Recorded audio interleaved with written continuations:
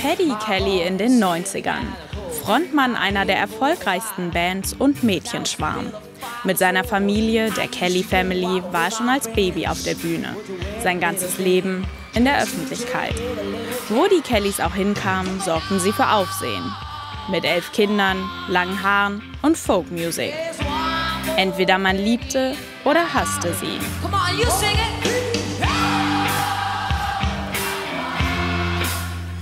Paddy Kelly war das irgendwann zu viel. Er suchte das andere Extrem. Sechs Jahre lang war er abgetaucht in einem Kloster in Frankreich und veränderte sich. Heute ist er ruhiger und so sagt er selbst glücklicher. Die Liebe zur Musik treibt ihn jetzt wieder auf die Bühne.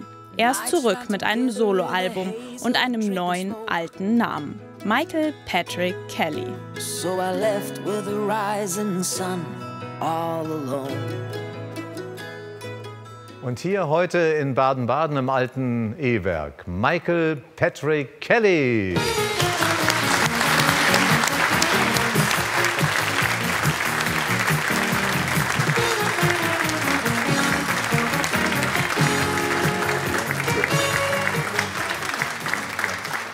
Ich freue mich immer, wenn ich ein Mitglied der Kelly-Familie begrüßen darf weil ihr seid immer so herzlich, so warmherzig. Ihr seid einfach gut erzogen worden, nehme ich an. Das liegt daran, Herr Elsner, dass äh, unser Erfolg großteils mit Ihnen zu tun hat. Sie haben uns ja in vielen Sendungen immer eingeladen. Und als ich gehört habe, dass ich noch mal zu Ihnen durfte, dann war sofort ein Ja, obwohl ich Talkshows nicht so gerne mag, wenn man nicht live spielen kann. Aber Sie noch mal live zu erleben, das hat sich für mich gelohnt zu kommen. Vielen herzlichen Dank. Ich würde jetzt sofort sagen, singen Sie live. Michael, das ist das neue, neue Album hier. Und da sind Sie jetzt als Solist drauf, obwohl Sie oft genug der Solist in der Kelly Family waren. Sie waren eigentlich der, der eine Zeit lang die ganze Musik dort auch bestimmt hat und sozusagen der Leading Music Man. Waren Ihre Geschwister nicht stinksauer, als Sie plötzlich ins Kloster gegangen sind? Einer davon war stinksauer. Das ist der große Sportler, der Joey. Der hat das nicht verstanden, er konnte es nicht nachvollziehen und hat mich auch äh, mächtig beschimpft. Was machst du? Du lässt uns im Stich. Wie soll es weitergehen ohne dich? Und, äh, aber ich glaube, so nach fünf, sechs Monaten haben wir uns nochmal wieder gesehen. Da war ich schon ein Mönch im Kloster und dann hat er mit Tränen in den Augen gesagt, wenn du glücklich bist, dann bin ich glücklich. Und als die sechs Jahre dann vorbei waren, äh, war auch unter anderem ja, der Erste, der angerufen hat, gesagt, ich habe hab gehört, du bist raus, als wäre ich irgendwo im Gefängnis gewesen. Und äh, brauchst du was? Geld, Auto? Soll ich dir eine Gitarre besorgen? Und äh, das war schon cool. Äh, ja, so eine Familie zu haben, ist natürlich ein starker Rückhalt. Warum sind Sie damals in Frankreich in ein Kloster gegangen? Ich habe ein bisschen rumgeschaut. Ich war in Indien, sogar bei den Brüdernzweig von den Mutter-Teresa-Schwestern und äh, auch in England bei den Franziskanern der Bronx nennt man die. Das sind so die Ghetto-Priester, die wirklich in den Slums mit den Jugendlichen versuchen, äh, was Gutes zu tun. Und letztendlich äh, habe ich mich in der Burgund am wohlsten gefühlt und ich hatte sehr viele philosophische Fragen. Und die haben einen sehr, sehr großen Wert auf Philosophie gelegt, also zusätzlich zu Ora et Labora, das ist Devise der Mönche, beten und arbeiten. Und äh, da habe ich ja, meine Antworten auch gefunden. Sie haben die Antworten so gefunden, dass Sie nach sechs Jahren dann wieder weggegangen sind. War jetzt die nächste Gruppe nicht sauer? sauer nicht, aber sie haben teilweise auch von sich aus gesagt, wir glauben, dass, dass das nicht deine Berufung ist, also dass es vielleicht doch ähm, deine Berufung ist, die Musik zu machen. Und das äh, war für mich anfangs auch schwierig zu verstehen, aber ich habe dann jetzt im Nachhinein äh, irgendwie das Gefühl, dass da auch eine eine Hand mit im Spiel ist, eine Art Fügung, ähm, weil äh, ein paar Jahre später habe ich äh, meine wunderbare Frau heiraten dürfen und jetzt, wo ich wieder Musik mache, merke ich, das ist, das ist mein, mein Talent und das ist das, was ich hier auf Erden Gutes tun kann. Aber Ihre spiritistische Ader haben Sie sich behalten, haben Sie nach wie vor. Das heißt, Sie haben einen Bezug zu dieser anderen Welt? Ja, auf jeden Fall. Es ist für mich ähm, des Zentrums meines Lebens, könnte man sagen. Also äh, ich fand das sehr spannend, das Gespräch über Glück und, und mein Glück besteht im Glauben und äh, in der, in der Liebe, also zu, zu Menschen und in dem, was ich als Musiker tun kann. Da habe ich meinen Frieden, meine Freude und mein Glück gefunden. Wir kennen ja einige Ihrer Geschwister, die auch eine große Karriere gemacht haben und auch auf vielen verschiedenen Bühnen und Hochzeiten getanzt haben. Die Maite ist ja als Tänzerin äh, unglaublich hervorgetreten auf einmal. Super. Oder der Joey ist ja ein Extremsportler gewesen. Sie sind ja mit ihm auch mal Marathon gelaufen. Ja, ich, insgesamt habe ich, glaube ich, vier geschafft, aber so extrem wie er drauf ist, das, das schaffe ich nicht. Das ist, er wollte mich letztens mit nach Kambodscha irgendwie drei Wochen im Dschungel mitschleppen. Er sagt, Joey, spinnst du, wenn ich da von der Mücke gebissen werde, dann ja, umso spannender, dann trage ich dich drei Wochen durch den Dschungel. so, nee, nee, lass mal, mach das allein. Und äh, na, für Maite bin ich wirklich sehr, sehr happy, sehr stolz, dass sie als mollige Dame es allen gezeigt hat, dass man auch Figur haben darf und äh, trotzdem selbstbewusst und glücklich sein kann. Sie haben riesige Erfolge gefeiert auf der Bühne. Ihr wart Weltstars, das darf man so sagen. Und Sie haben, das sind die alten Geschichten, die immer wieder aufgewärmt werden, im Wohnwagen gewohnt, Sie haben im Schloss gewohnt, Sie haben so alle möglichen Übernachtungsmöglichkeiten ausprobiert. äh, als Sie dann sozusagen aus dieser Glamour-Welt verschwunden sind, war das einfach eine Sehnsucht, mal das ganz normale Leben kennenzulernen?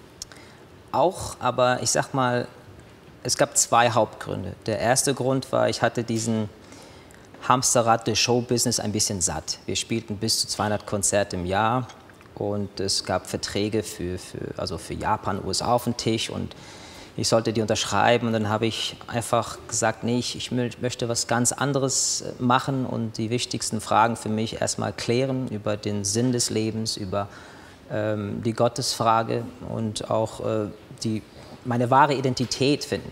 Wer bin ich wirklich im tiefsten Inneren? Und äh, da habe ich das Klosterleben als die idealste Form äh, gefunden, um das äh, herauszufinden. Und jetzt habe ich Ihre Frage vergessen. Jetzt habe ich meinen Faden ver verloren. Nein, ich wollte mir. einfach wissen, ob das eine Sehnsucht war, ja. das einfache Leben kennenzulernen, nachdem Sie ja mehr oder weniger die Scheinwerfer und Glitzerwelt genau. bis oben hin hatten. Genau. Also einmal gab es diese spirituelle Sehnsucht und dann einfach auch die Sehnsucht, sich ein bisschen zu erden, Kartoffeln zu schälen, Müll rauszubringen, ganz banale Dinge. Ich habe ein Jahr lang in der Wäscherei gearbeitet und äh, habe viel Respekt für Hausfrauen dadurch lernen können. Oder ich habe auch äh, in der Töpferei gearbeitet, ich habe Sandalen gemacht, also mit den Händen, unbekannt, inkognito in ein Kloster, wo ja, 25 Nationalitäten da waren und, und ich weiß nicht, 60, 60, 60, 70 Mönche aus der ganzen Welt. Und wusste da wirklich keiner, dass Sie ein Kelly sind? Ein paar. Und da gab es auch einen, äh, das habe ich schon mal erzählt, aber das ist so herrlich, das erzähle ich noch mal gerne. Äh, der saß dann irgendwann zu Tisch neben mir und, und meinte, ähm, ich war auch mal ein Superstar. Und ich so, äh, wie jetzt? Ja, ich habe in den 60er, 70er mit den Rolling Stones TV-Shows gemacht und 5000er Hallen gefüllt. Ich sage, du hier? Ich sage, ja, klar. Also, ja, komm mal ein bisschen runter, du bist nicht der Einzige. Und wer war das? Das war Bruder Bernard Marie, hieß der. Seinen zivilen Namen weiß ich nicht. Sein war, das Mich, war das Michel Polnareff? Könnte sein. Ich weiß es nicht. Den hatte ich auch mal. Ja? Ja, ja, der, der wollte auch unbedingt irgendwann mal in einem Kloster eintauchen. Der hatte einen Riesenhit, der ist auch mit den Beatles und mit den Stones zusammen aufgetreten. Ach, sehen Sie. Ich, wir werden es recherchieren. Genau, genau. Jetzt komm, jetzt machen wir mal Werbung hier. Michael Patrick Kelly, Human. Was ist da alles drauf? Es sind Songs, die von Menschen und Menschlichkeit handeln. Äh, ich habe drei große Faszinationen. Das eine ist der Mensch. Was ist der Mensch? Die große philosophische Frage. Und äh, die andere ist ähm, dieser Kosmos, den finde ich einfach unfassbar schön und, und, und beeindruckend.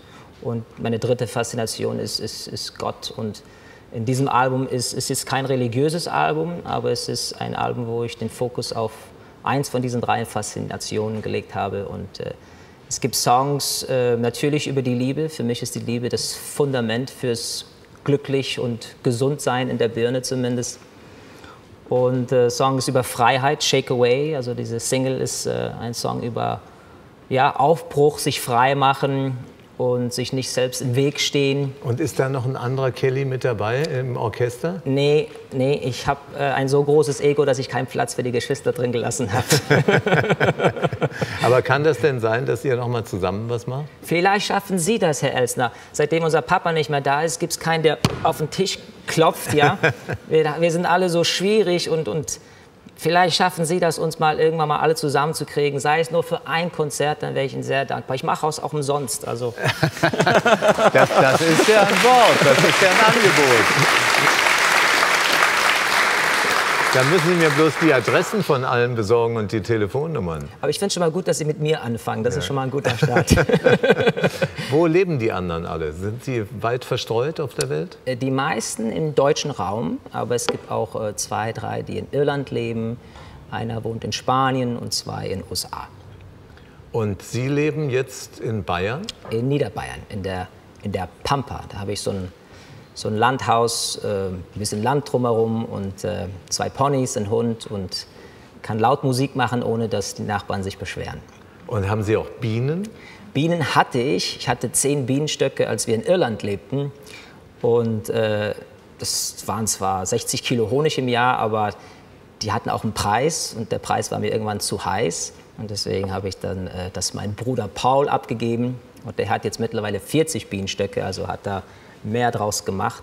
Ziegen hatte ich auch, Schafen auch, äh, ein Hängebauchschwein und äh, was hatte ich noch? Enten, Hasen, äh, ich habe auch Gemüse angepflanzt, Ziegenkäse gemacht. Ich habe leider nichts dabei, aber vielleicht bringe ich nächstes Mal ein bisschen Irish Patty Cheese. Und was essen Sie denn am liebsten? Ich, oh.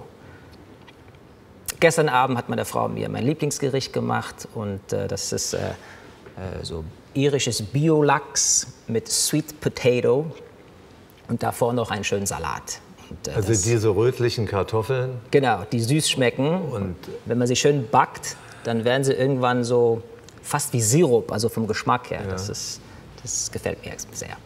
Jetzt geben Sie mir noch einen Tipp, weil ich habe hier so viele Zeugen, die jetzt gehört haben. Ich könnte vielleicht mal Papa Kelly vertreten. Der Bart äh, muss noch kommen, ne, äh, das sind, wie viele muss ich ansprechen? Wie viel seid ihr noch? Zwölf? Zwölf, genau. Zwölf.